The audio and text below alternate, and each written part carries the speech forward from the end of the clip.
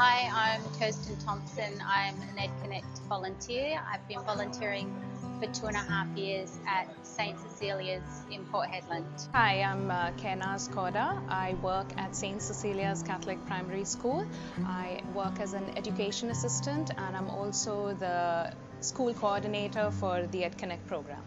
Kirsten is, is really an awesome mentor. Uh, she's been amongst the first mentors that St. Cecilia's has had, and she's been committed to the program ever since. I really look forward to my time mentoring each week.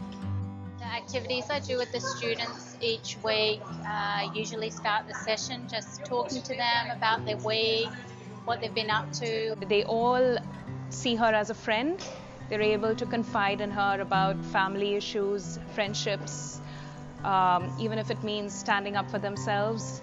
Uh, so she's definitely pushing them in the right direction. I've seen so much change in the students that I've mentored. I've seen them grow into really confident kids.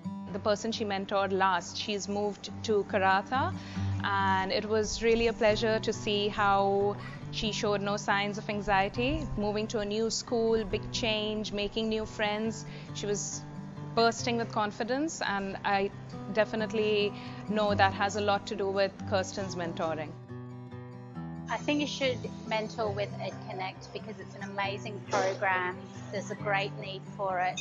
It's really rewarding, and I think you will surprise yourself with how much how much you can share with the students.